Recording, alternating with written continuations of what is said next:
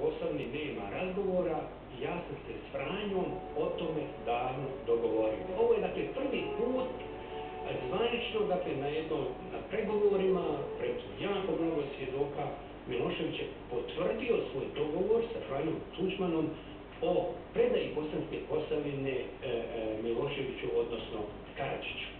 Uoči Daytona, a poslije Oluje, tu se Tuđmanu predlagao da se Posavina vrati vojnim putem.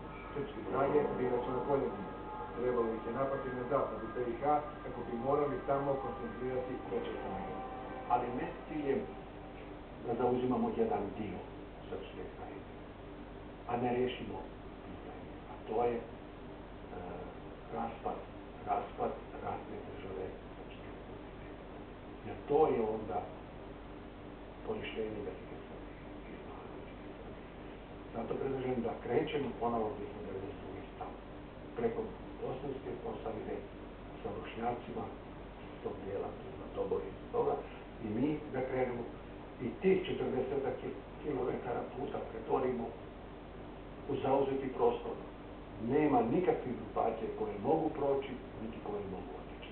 I pada ideja Velike Srbije.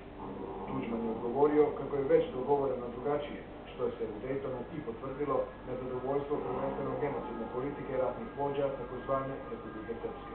Pokazuje se zapravo da Republika Srpska u ovoj formi kojoj daje i danas Milorad Dodik, koju su joj davali SDS, Karadžić i ostali, da ona u toj formi ne bi mogla obstati e, e, da napravljen ovaj temeljni dogovor o Bosanskoj Posavini između Tuđmana i Miloševića.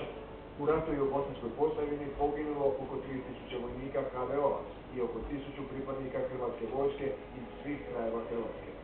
Zašto su poginuli, ako je sve unaprijed dogovoreno, zašto nitko nije odgovarao za sve diverzije koje su pratile povlačenje i zašto nije istraženo tko je popljačkao sve kuće, pa čak i samostalnu plekanu na područjima s koji su se povlačili hrvatski vojnici i to prije dolaska prvog srpskog vojnika, do dana današnjeg nitko se nije udostojio odgovoriti.